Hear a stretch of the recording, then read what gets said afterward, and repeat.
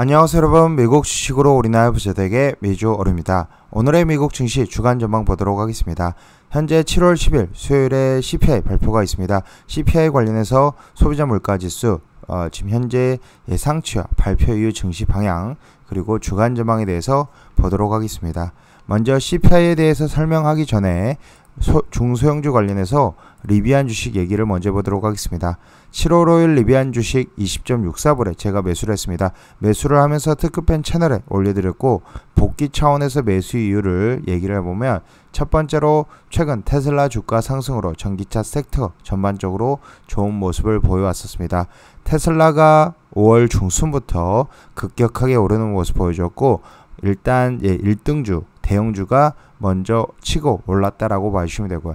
그 다음은 전기차 섹터의 두 번째 중소형주들이 올랐다라고 봐주시면 됩니다. 또한 기술적 차트상 적삼병으로 양봉 candle이 3회 이상 연속으로 등장하는 candle 차트가 리비안 주식에서 발생이 되었습니다. 먼저 한 번, 두 번, 세 번 이렇게 적삼병이 발생되었고 이 적삼병 발생 이후에 한 번의 조정 이후 상승하는 모습 보여주었습니다. 세 번째로는 200일선을 돌파하고 있던 상태였으며 200일선 돌파 후 강한 상승이 나올 수 있을 것으로 예상을 했었습니다. 지금 현재 매수한 시점이 200일선 돌파 지점인데 돌파하고 나서 지금 종가 기준으로 200일선을 지켜낸 모습 그 다음 14.25% 지난 금요일장에서 상승해 준 모습을 보여줬습니다.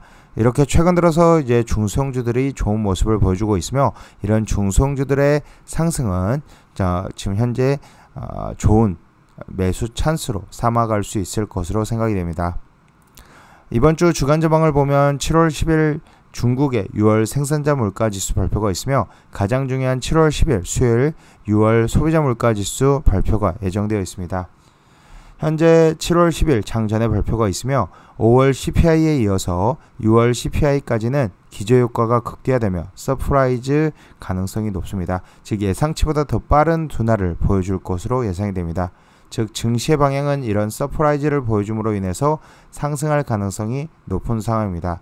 그러나 기저효과가 소멸되기 시작하는 7월, 8월, 즉 8월 CPI 그리고 7월 CPI, 8월 달에 발표되는 7월 CPI 추이에 따라 여름 이후 FOMC의 추가 금리 인하 여부가 확정될 전망입니다.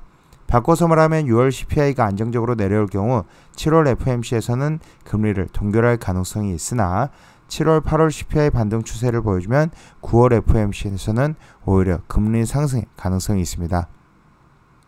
현재 패드워치 기준으로는 7월 26일 FOMC에서 0.25% 인상 가능성, 그 이후에는 계속적으로 금리 동결 가능성을 바라보고 있으나 즉 데이터, 연준이 중요하게 생각하는 CPI 데이터가 변화하지 않는다면 오히려 금리를 더 올릴 수 있기 때문에 이 여름 이후 금리를 아, 상승시킬 수 있는 요인이 7월과 8월 CPI의 기저효과에 달렸다라고 봐주시면 됩니다.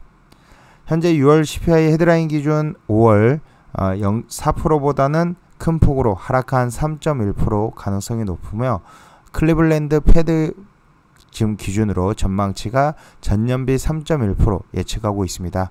또한 전월비 0.4% 상승 예측을 하고 있으며 4%에서 3.1%, 0.9%나 낮아질 것으로 예상이 됩니다.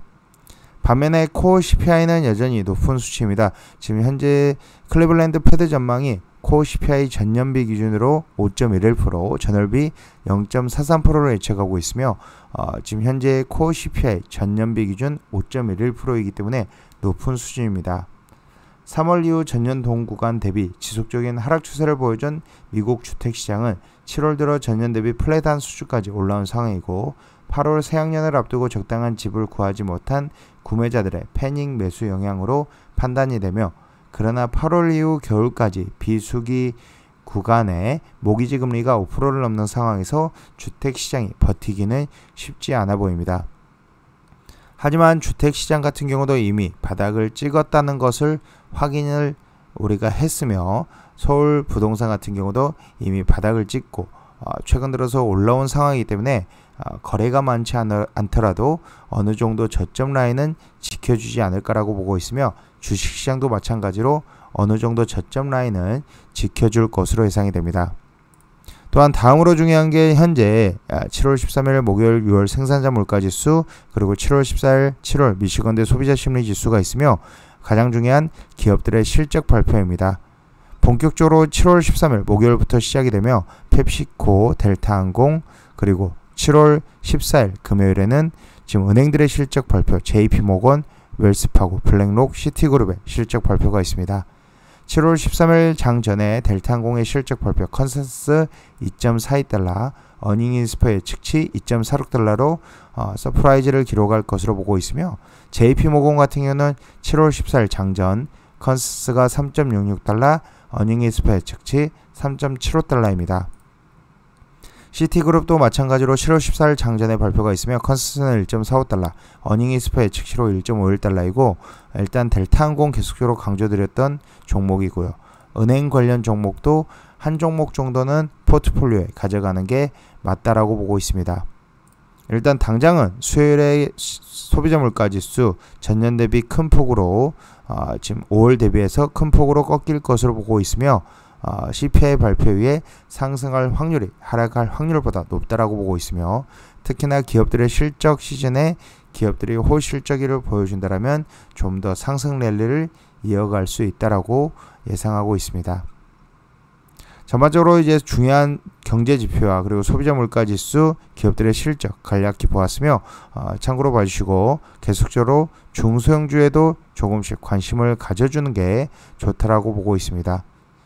지금까지 비주얼 영상 시청해주셔서 감사드리고 앞으로도 비주얼 영상 많은 시청 부탁드리겠으며 제 영상이 마음에 드셨으면 많은 좋아요와 구독과 알람 설정 부탁드리겠습니다.